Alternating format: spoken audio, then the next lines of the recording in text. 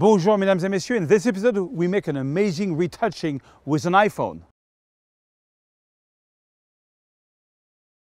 All right, bonjour, mesdames et messieurs. My name is Serge Ramelli. I'm a French photographer living in the beautiful, the incroyable city of Paris, France. But right now, I'm in New Zealand, Queenstown, doing some photography with my friend Trey Ratcliff.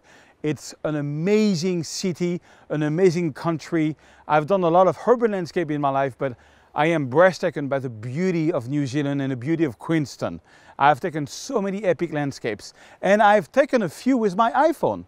And I want to show you how you can use Snapseed, a free app from Google, to retouch this. But before, if you click here, you can subscribe to my daily newsletter. In my daily newsletter, you will get tons of free Lightroom presets, free Photoshop brushes, over 250 free tutorials, all that for free. All you have to do is get my newsletter. All right, without any further ado, let's go to Queenstown, New Zealand, and let's retouch and make an amazing iPhone photo. Bonjour, mesdames et messieurs. And so here I am with my iPad Pro and I'm going to show you Snapseed. So all I did is I clicked here on open and I took this photo. This is a photo taken with an iPhone, just you know, the regular JPEG right out of the camera.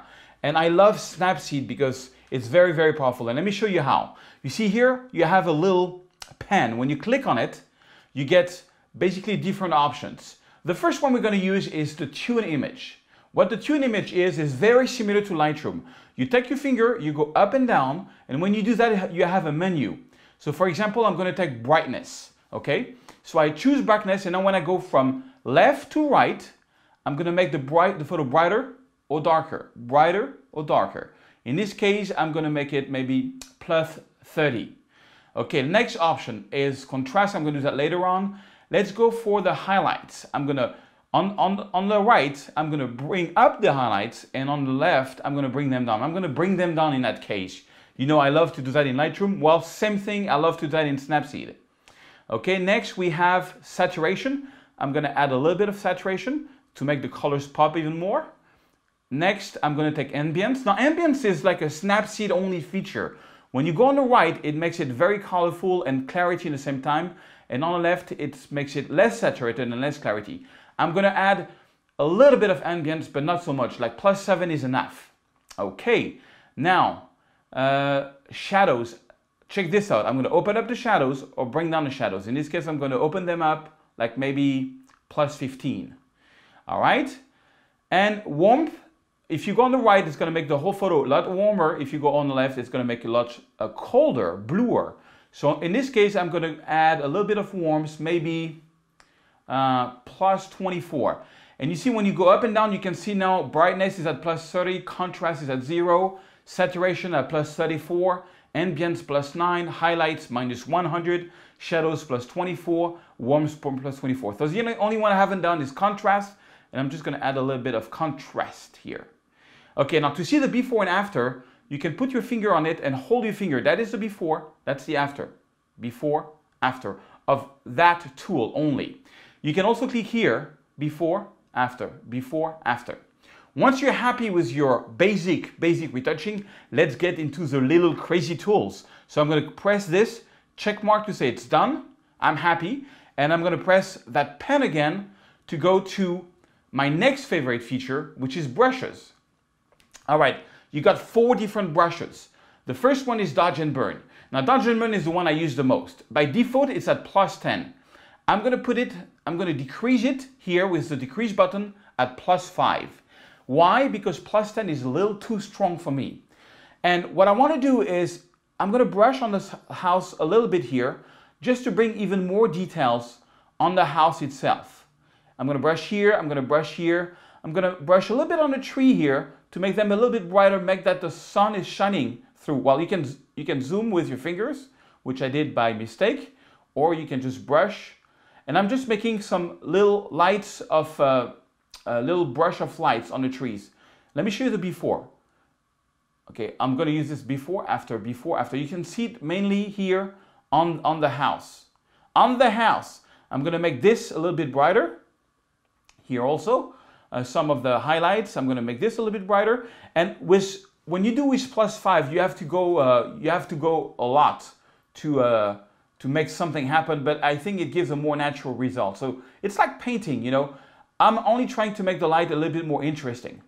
So let's see the before, after. It's very subtle and you see it mostly here on, on the house. But what I'm going to do now is I'm going to decrease it to minus 10. And I'm going to brush here on top to make my sky a little darker, just the top of the sky. Now, if you do something you don't like, like for example, I think this is too strong, then you can increase it to zero and it becomes an eraser. And the eraser, you can erase what you just did. So I'm going to erase what I just did. I, th I think that minus 10 was too strong.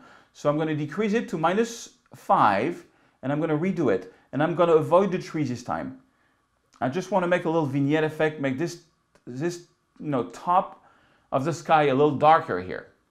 Okay, something like this. Show you the before, after, before, after. Okay, now I'm going to click here for the different effects brush and I'm going to go to temperature.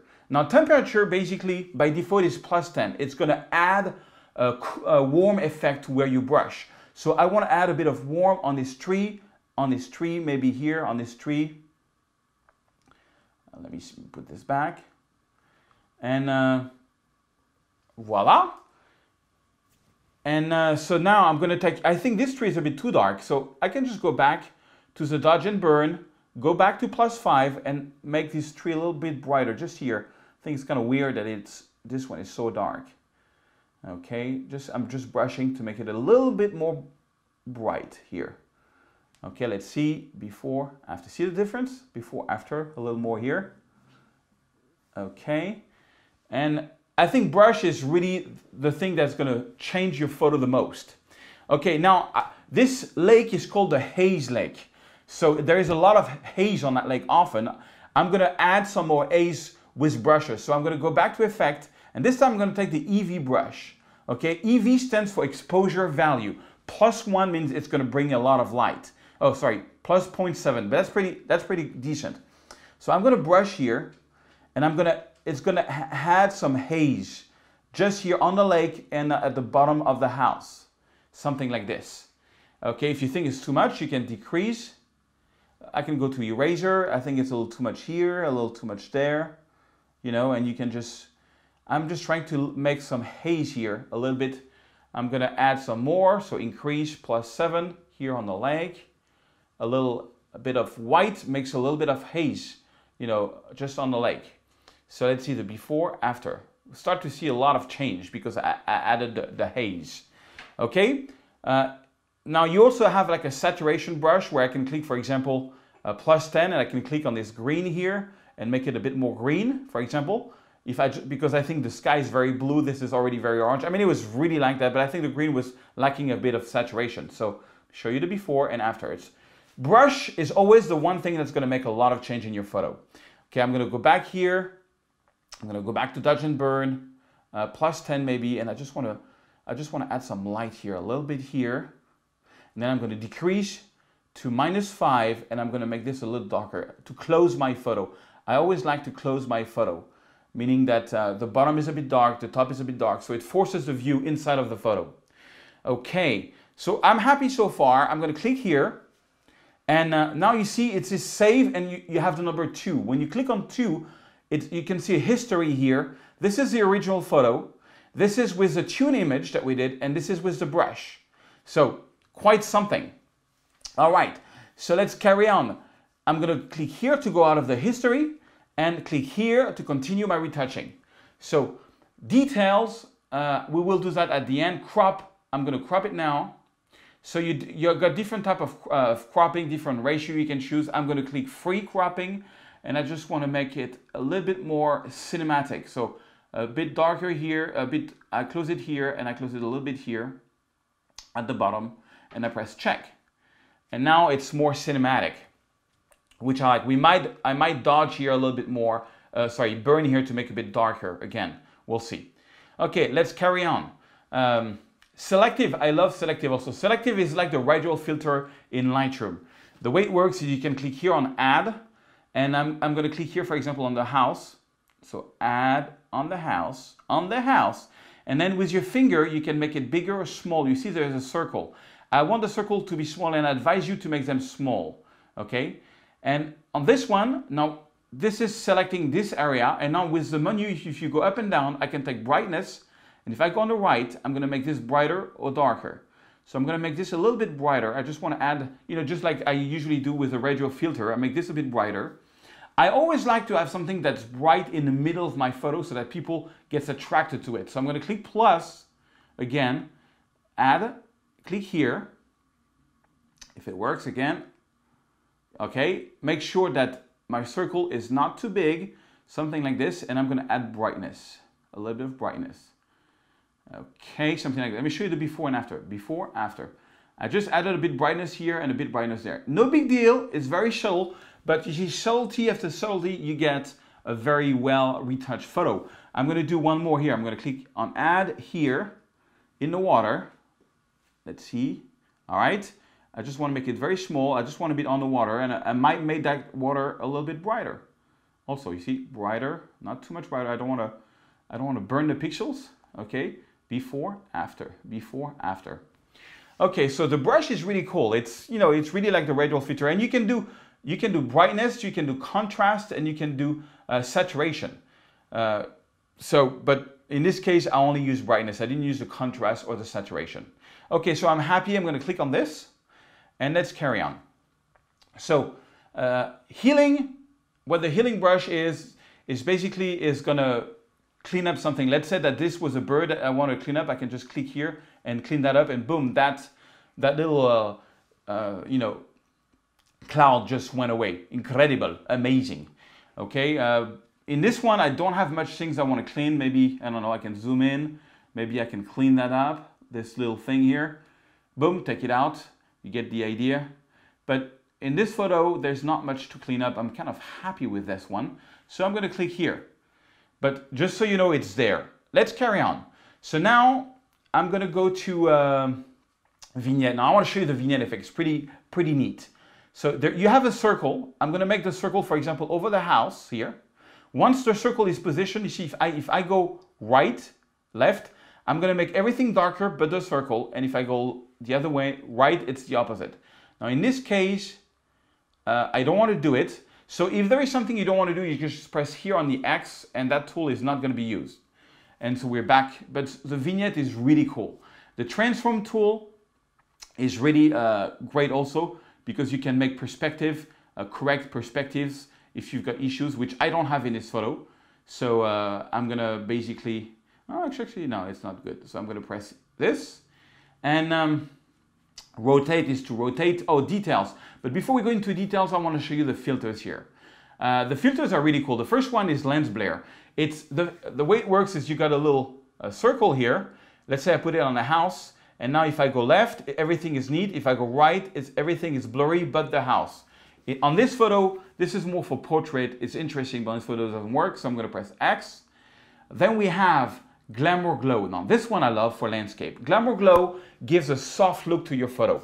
So you got five basic presets. One, two, three, four, five.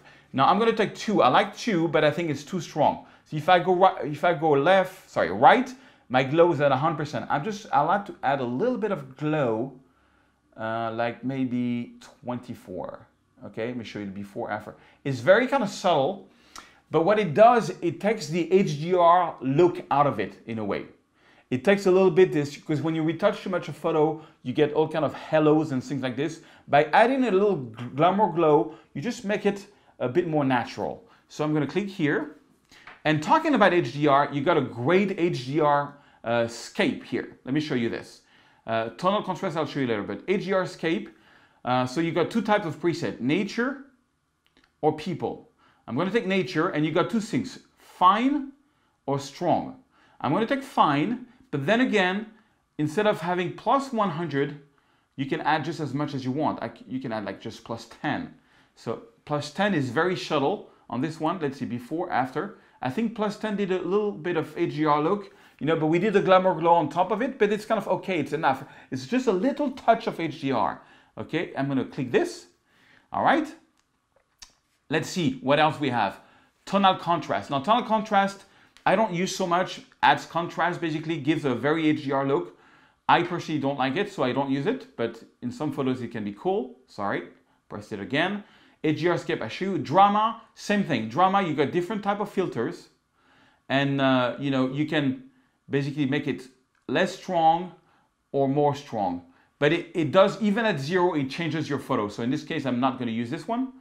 Uh, grunge, same thing. What grunge does is basically adds texture and you can shuffle before between different texture to give a very ancient look. On this photo, I think it doesn't work, so I'm gonna press X. Um, grainy film, you got a lot, a lot of different film look uh, and you can increase it with adding a lot of grain or not. I don't use it so much either. It might work on some photo. Uh, vintage, vintage is really split toning. Basically, the way split toning works is that you got a gradient here, which you can see, and it's gonna try to have most of this color in your photo. It alters a lot the photo, and in this case, I'm not gonna use it, but it's kind of like the Instagram look. Uh, that's what vintage is for me. Uh, same thing for Retrolux. It's Instagram look on, uh, I would say, on steroids, but you see it adds a texture in the same time and like a dirty texture, like it adds dirt to your photo. I don't use that either, but it can be cool on some effects. Noir and black and white is to make black and white, and I'll show this to you on another tutorial. And frame is pretty cool. Frame, you can choose different types of framings and, um, you know, like very like sort of ancient type of frames. Same thing, I'm not gonna use it on this one. So voila, that's basically the tools you have in Snapseed. So powerful. Uh, let me see, I think I'm gonna add some more brush effect on this one. I'm gonna take maybe the dodge and burn plus 10. I'm gonna leave it at plus 10. I'm just gonna make this a little bit brighter here. I wanna make that way a little bit brighter, just there. And maybe here, this a little bit brighter. Uh, this a little bit brighter. I like to, when I do brushes, I like to do them, to do brush on top of brushes, you know, and I'm painting, painting over my photo. Okay, I'm just going for an emotional impact. I don't care whether it's heavy retouch or not. All I care is, do people like the photo? Is it, is it creating emotion with people or not? This might be a little bit over the top, but I wanted to show you what you can do with that software. So let me show you again where, where, where we stand, sorry. You see, we did eight things. Here is the original photo. We did some tune image for the like Lightroom overall look. Then we did some first brush. Then we cropped it. Then we did the selective, you know, uh, circles. And then we healed it by taking a few things out. We add a bit of Glamour Glow, a little bit of HDR, and again a little bit of brush. And voila, this is finito. So I hope you like this, guys, and I will see you in another episode. Au revoir. Bonjour and bienvenue, welcome on my website. Do you want to get hundreds of RAW files from all over the place where you can play around with? Do you want to get amazing free Lightroom presets, free brushes, free Photoshop actions? All you have to do is enter your email address. You will receive an email, you can then create an account, and then you can access this free lesson tab. You can choose from over 200 free lessons. Every free lesson is going to have source files for you to download and play around with. It's a great way to learn photography, learn post-processing for nothing. No money, it's all free. It's a gift to you as a member of photoserge.com. So thank you and welcome, and let's do some photos together.